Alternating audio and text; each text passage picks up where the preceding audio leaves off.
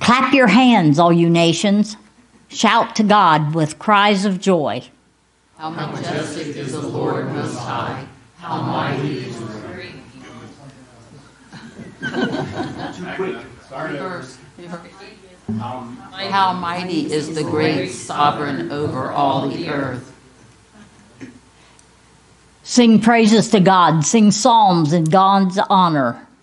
God reigns over the nations. God is exalted all all. Praise Praise the Lord, all people. Praise God's everlasting name.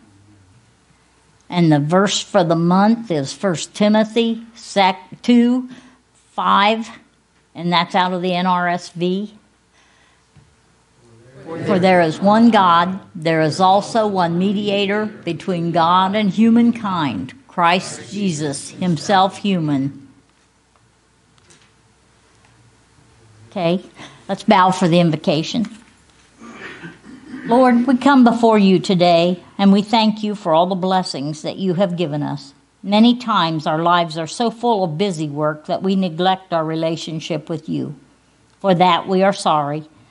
We know that you never neglect us, for if you did, our very lives would cease to be. Continue to pull us to yourself, guide us in our journey, and hold us close to your bosom until the day we come home to be with you forever. Be with us now as we gather in your name. May we feel your presence among us. In Jesus' precious name we pray. Amen.